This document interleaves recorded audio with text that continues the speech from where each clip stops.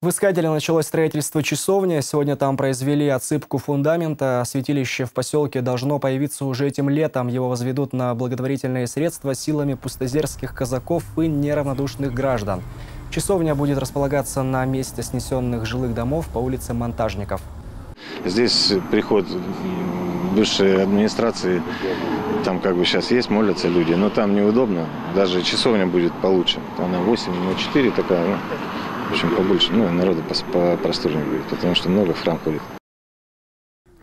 Ну а чуть позже здесь же рядом с часовней начнется строительство храма. Проект на здание уже готов, осталось решить финансовый вопрос. Помимо прочего, в ближайшее время на берегу Искателей казаки намерены установить поклонный крест.